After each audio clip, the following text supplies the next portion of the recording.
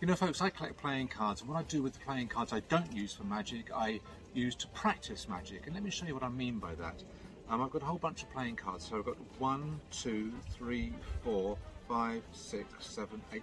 I've got a whole bunch of playing cards. Well, by the way, I should say they're all ace of spades. Let me show you.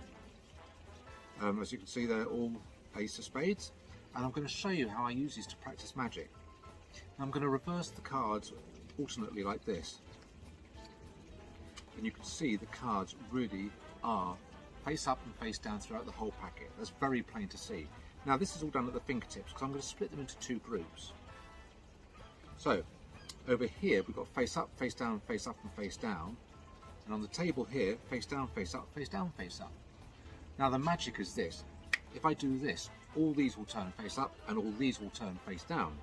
Well, let's have a look over here. I think it's kind of happened one by one. Yeah, I've now got uh, three face up. If I flick the corner of the cards, I've now got all four are face up.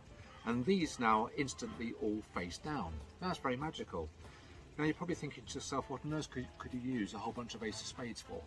Well, if you play poker, wouldn't it be nice to do this and change these to a royal flush and spades, which cannot be beaten? But if you did that, you'd need a lot of money to pay off all your debts, which you can always do with credit card anytime you want.